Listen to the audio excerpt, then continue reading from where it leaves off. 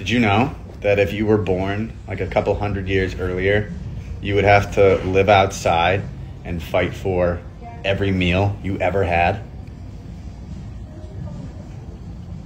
I know. It's crazy.